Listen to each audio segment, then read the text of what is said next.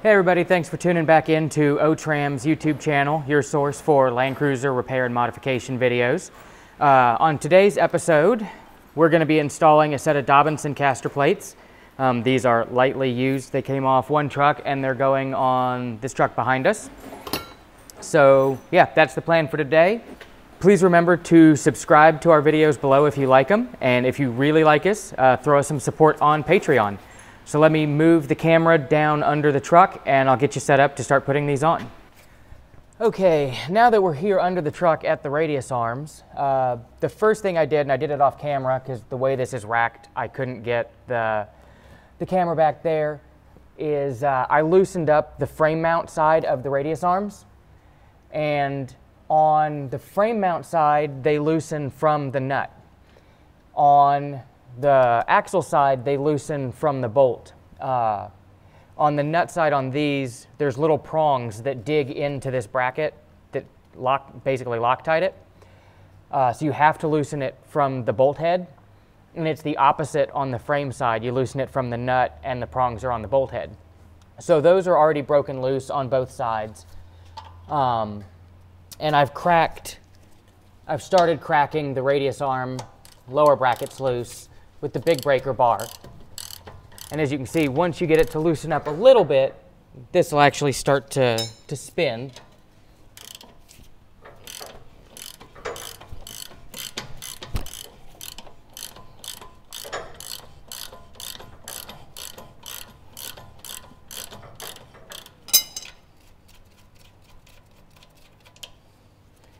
I don't know if you're to be able to see them, but you can see there's four teeth in there that bite to keep these from spinning.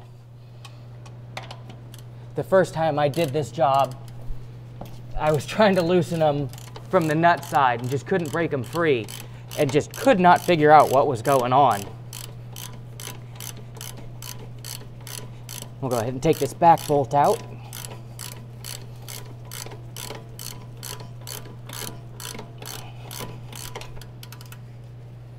That guy's out. Let me grab a punch real quick.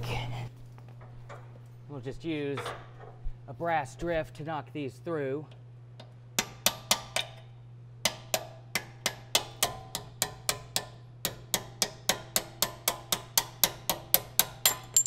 We'll be installing new bolts with the new plates.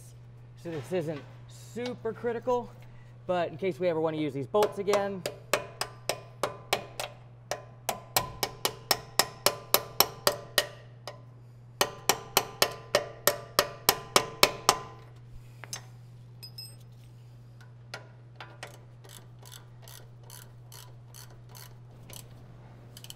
sometimes these bolts hang up on the threads and just don't really want to come all the way out. There we go. And then they kind of jerk suddenly when they do. But since we've already loosened the frame side, we can push that down a little bit um, and get it out of our way. And actually, I'm going to undo the ABS lines from that just to give me a little bit more room. And the, uh, the ABS wires just clamp onto the sides here. And you can just unbolt them off the side of the bracket.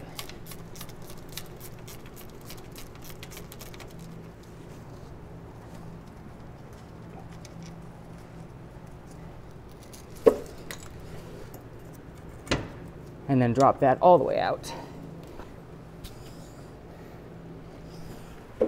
And this style of caster plate has this washer reinforcer welded onto it with a flat.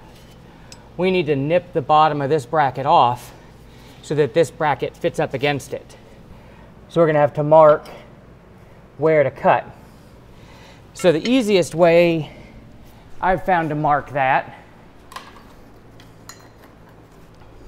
is to just paint a little bit of gear marking compound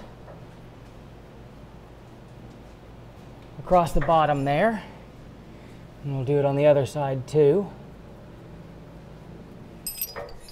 And then we'll grab the new bolts.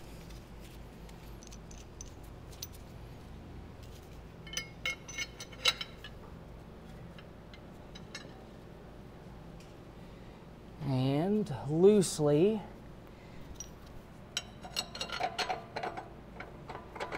set that up there. Then you can kind of rock that plate. Actually, I'm going to do the other side too while I got the bolts in there.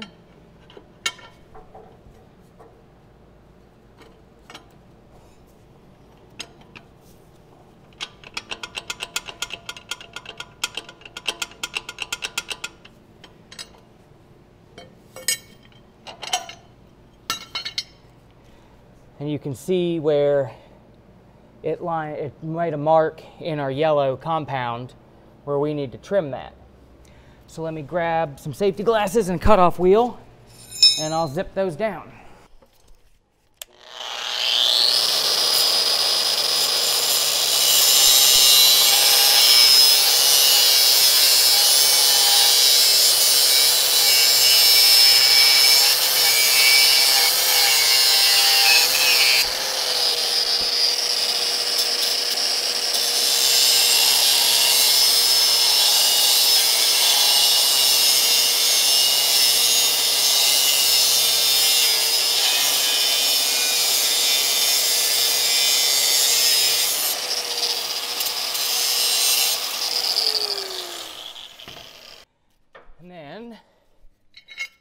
back under here.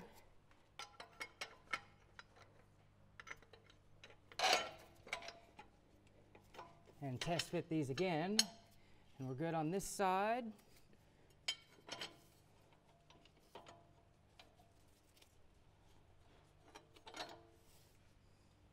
And we clear on this side. So we're, we're nice and happy there. So now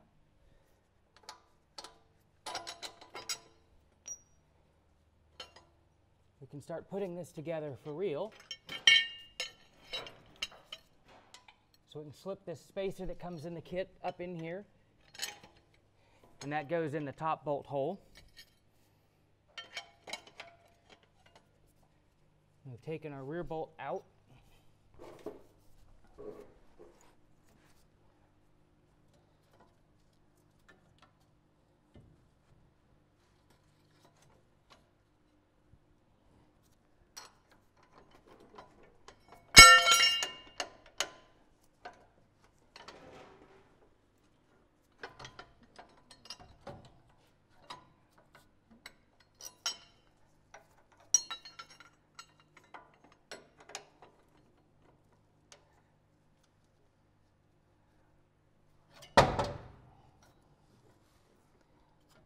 And this is the part where it starts to get fun when you're trying to jockey everything back in here.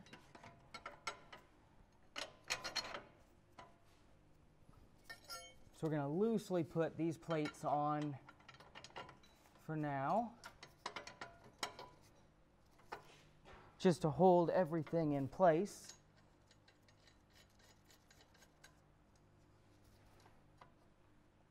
Until I undo the other side. And when I undo the other side, I'll be able to roll this back up into alignment um, and get everything. Right now, it, the other side's holding us at the stock height. So let me move over into the other side, and then I'll bring you back to finishing up this side. So we've got everything in here now. I went ahead and did the far side uh, because you can't get the radius arms back in when one of them's at a different caster angle than the other. Uh, I had intended to video uh, putting everything back in and getting all the bolts in, uh, but it ended up sliding back in fairly easily, so I didn't get it on video. But I figured I'd go back and kind of give you guys the tips on how to make everything line back up. Uh, the first thing I ended up having to do on this one was undoing the sway bar brackets. He's got a lift, but doesn't have sway bar drop brackets. So the front drive shaft was resting against the sway bar, and at full droop, I couldn't get the axle to roll back far enough uh, to get the back bolts to align. Uh, I, I put these front radius arm mounts back in with the rear arms still hooked to the frame. Sometimes if it's really being a struggle to get these front ones to line up, it's easier to undo the back frame mounts get the get the radius arm all bolted up at this end loosely, and then you're just dealing with lining up that single hole in the back rather than trying to juggle all three of these. Uh, with the truck being on our short rise lift, it's hard to do that because there's not enough room to swing the radius arm down in the back. So what we ended up doing is taking a long pry bar and you can stick it in, in right here and either have somebody else pull up or use a floor jack and you can pry up and get the axle to roll backwards until everything lines up. This method's kind of sketchy unless you really trust your pry bar. So it's easier to do it with removing the rear radius arm brackets, but we ended up going this route. Uh, and so we've got everything in here, and I just need to torque everything down. It's 127 foot-pounds on these front three, and then 130 foot-pounds on the frame side, and I've just got the nuts on here loosely. I need to take these back off and put some red Loctite in. So I'm gonna put some red Loctite on these and torque everything down.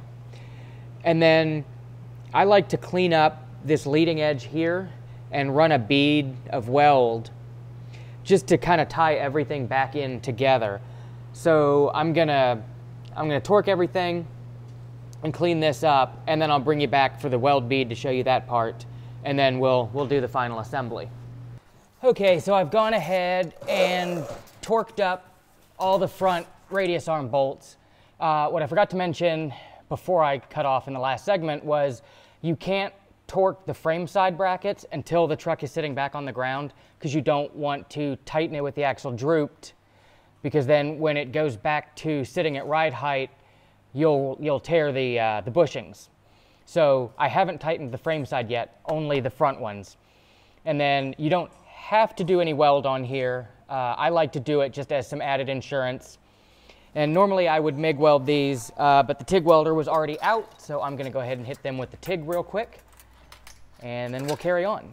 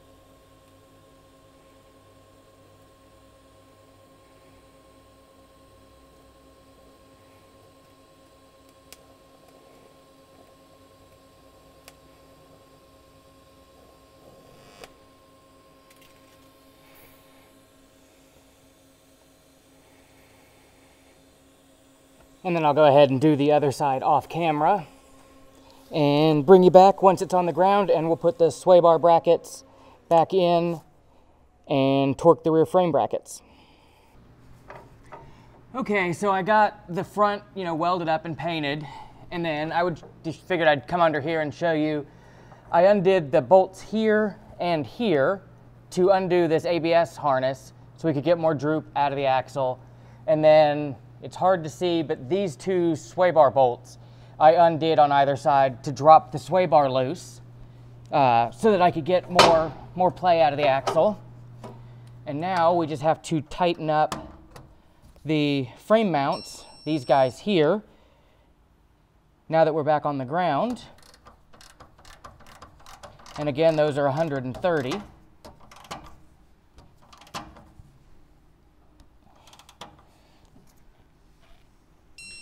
There's that one.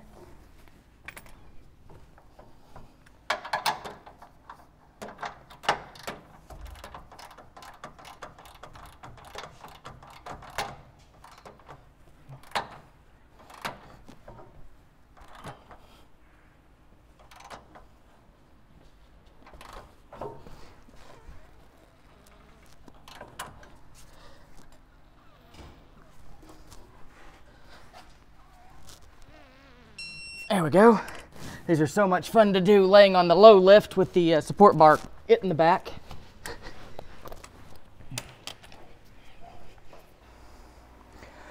So there we go. Uh, that's doing caster correction plates on an 80 series Land Cruiser.